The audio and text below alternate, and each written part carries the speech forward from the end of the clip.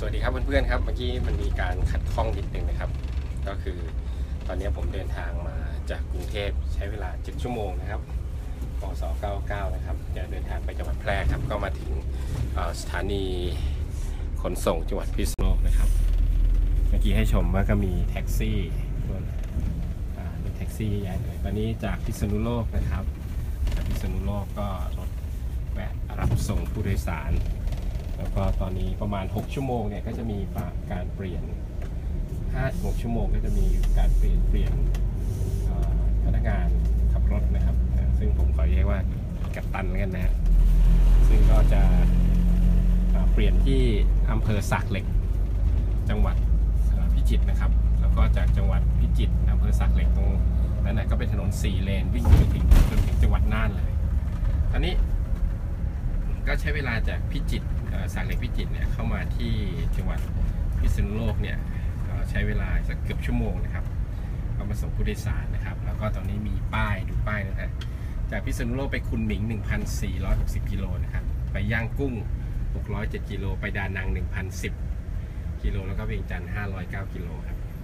จะถามพี่โชเฟอร์หน่อย จากนี้เราจะวิ่งไปเส้นทางไหนต่อครับ ไปอุตรดิตถ์อุตรดิตถ์เด่นชัยแพร่ครับ อุตรดิตถ์นี่ระยะทางสักกี่กิโลครับผม จากพิโลกไป100กิโลครับประมาณ 100กิโลก็ชั่วโมงเดียวเองนิดๆชั่วโมงนิดๆชั่ชั่ววโมโมงงครึ่งนิดๆนะครับ เพราะว่าใช้ความเร็วแค่ 80 กิโลเท่านั้นเองนะครับ จากอุตรดิตถ์ก็เขาบอกว่าวิวสวยใช่ไหมฮะแถวนั้น ก็ปกติอะมันจะไปตามเขาเลยอะแต่เขาก็ไม่สูงเท่าไหร่มันมีสูงที่ว่าเขาพึ่งนั่นแหละเขาเขาพึ่พึ่ง งที่ว่ารถตกเขาอะนะอ้าว แต่เขาว่าวิวสวยนะ ครับผม วิวสวยนะครับ แล้วก็เข้าเด่นชัยครับ แล้วก็แพร่ จากแพร่ไปน่านกี่กิโลครับจากแพร่ไปน่าน120ร้อยประมาณฮะประมาณร้อยยี่สิบ120นะครับ ก็ไปถึงนู่นสักกี่โมงครับนี่ก็ประมาณทุ่มครึ่งทุ่มทุ่มครึ่งนะคครัรับบสบายสบายๆครับ นี่คือจังหวัดพิษณุโลกนะครับ เป็นเมืองใหญ่ทีเดียว แล้วก็นั้นก็เข้าเมืองนะครับ เข้าเมืองไปเมืองนี่ติดไฟแดงนี่แยกอินโดจีนอันไหนนะฮะ นี่เขาเรียกแยกอินโดจีนนะครับอย่าผมเรียนไปแล้วเมื่อกี้อ่ามาตรงนี้นี่เป็นบรรยากาศในคอกพิทเลยนะฮะคอกพิทอ่านี่เป็นรถที่วิ่งนี่เป็นรถเบนซ์นะฮะเบนซ์แล้วก็อ่าผมก็มานั่งตรงนี้สนุกดีนะครับ นั่งมองวิวไป สาเหตุที่เลือกเดินทางกลางวัน เพราะว่าจะได้ดูวิวครับ ผมอยากจะเห็นเส้นทางจาก เวลาเส้นทางที่วิ่งที่จะมาพิษณุโลกเนี่ยครับเขาจะเลี้ยวเข้าตรงอำเภอตากฟ้านะครับ ตากฟ้าพอเลย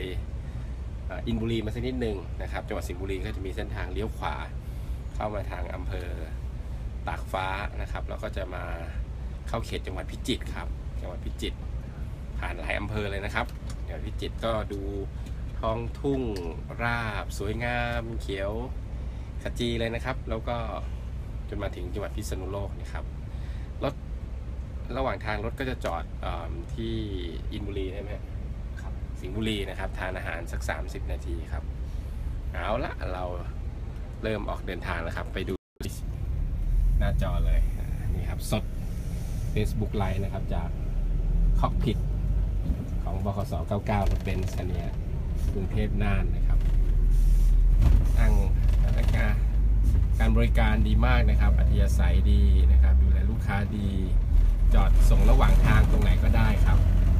อันนี้คงทำถนนใหม่อะไรครับ ถนนใหม่ ไม่รู้เขาทำอะไรกันบ้างนะฮะขยายขยายนะครับขยายแยกให้กว้างครับผมจุดจังหวัดของพิษณุโลกเนี่ยก็เป็นจุดจอดของรถหลายเส้นทางเนอะเชียงราย มีอะไรฮะ เชียงรายแม่สะเชียงราย เชียงใหม่ขอนแก่นเชียงใหม่อุบนทุกสถานที่อะไปกระจายไปทั่วทุกจังหวัดนะครับ ที่จะไปอีสานด้วยนะครับใช่ไหมฮะมีเส้นทางเชียงรายขอนแก่นเชียงรายนครศรีธรรมราชเชียงรายนครพนม เชียงใหม่อุดรเนี่ยก็ต้องมาผ่านเนี่ยครับพิษโลกทั้งนั้นเลย